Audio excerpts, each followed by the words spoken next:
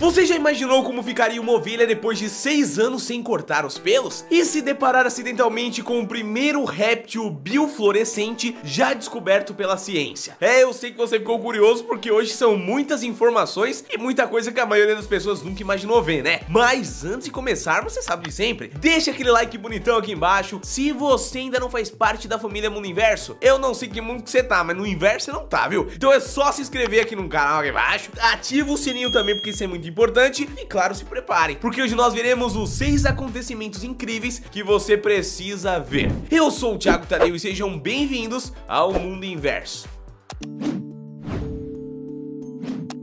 Igreja emergindo na bacia hidrográfica do rio Grijalva, que fica no México, começou a haver uma seca braba durante uma época, o que fez com que os níveis da água, obviamente, diminuíssem bastante. Mas justo com o nível da água que abaixava cada vez mais, foi revelando uma coisa realmente impressionante. Isso porque começou a ressurgir uma igreja colonial construída há séculos atrás, bastante séculos, tá? E era conhecida como o Templo de Santiago.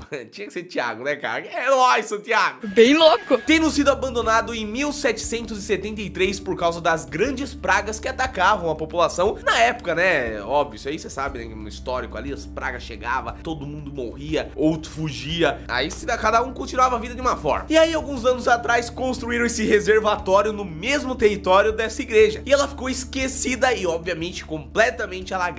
Ressurgindo somente agora como uma memória do passado, graças a uma seca. Que louco, né, família? Com o ressurgimento da igreja, o local virou um lugar de visitas que atraem pessoas interessadas no assunto do mundo inteiro e não é pra menos, né? História pra caramba ter esse lugar. Ovelha Shrek vocês já se perguntaram o que acontece se uma ovelha simplesmente resolvesse não se podar nunca mais? Eu acho que podar é a palavra certa, né? Tosar, tosar, tosar. Mas podar também é quase, porque os arbustos somos ovelhas. Não entendi foi nada.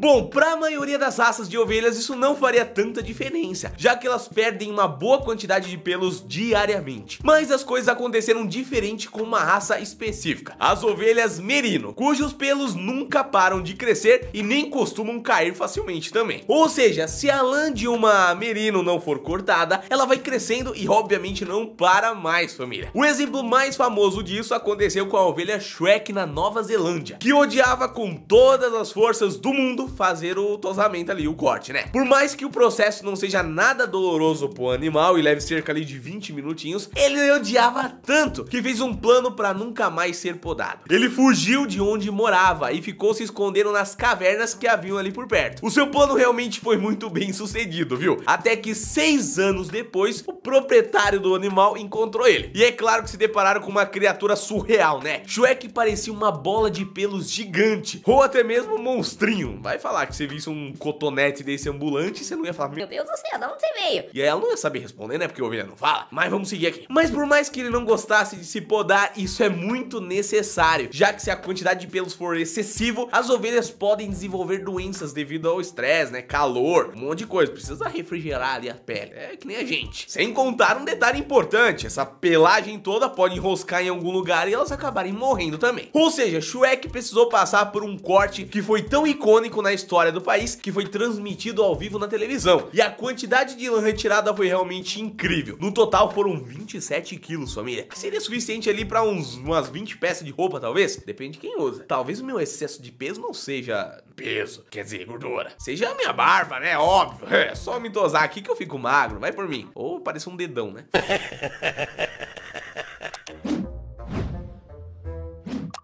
Resgate de esquilo.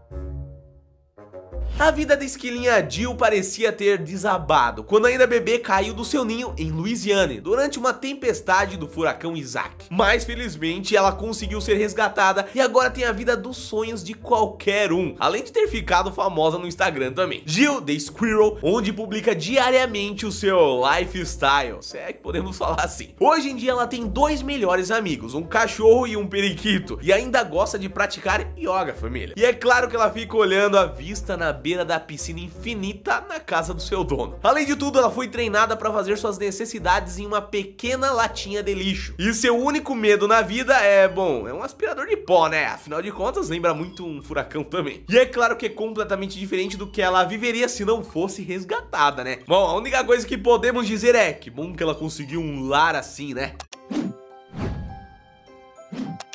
Casa Monstro